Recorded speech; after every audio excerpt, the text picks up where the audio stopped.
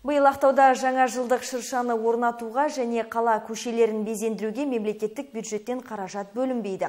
Мерекелік декорацияға былтырғы шыршалар мен жарық диодты элементтер, жарықтандыру құрылғылары қолданылады. Себебі өткен жылғы заттар әлі де жарамды. Биыл Ақтау қаласы аумағында 11-ші шағынаудандағы ынтымақ, 4-ші шағынаудандағы Астана алаңына және Өмірзақ ауылына шырша қойылады. Ал безендіруден үнемделген қаражат әлеуметтік маңызы бар, халық қажеттілігіне жұмсалады. Сондай-ақ қала әкімдігі кәсіпкерлердің демеушілігі есебінен де қаланы безендіруді көздеп отыр. Ал жаңа жылдық безендіру қалада тәуелсіздік күні мерекесінен кейін басталады. Енді басқа безендіру бойынша бізде қазір Адвер компаниясының ұсыныс түсіп отыр.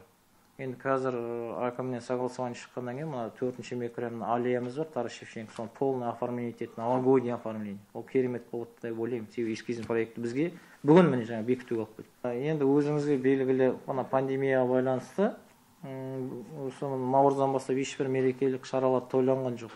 Себебі қаражатты басқа салаларға жіберді, мысалы клуб. Енді осыда да жылдың аяғында барымызды өзіміз қойып, қалған қаражатты мысалы басқа салаларға жұмсайын деп отыр әкімдік тарапы.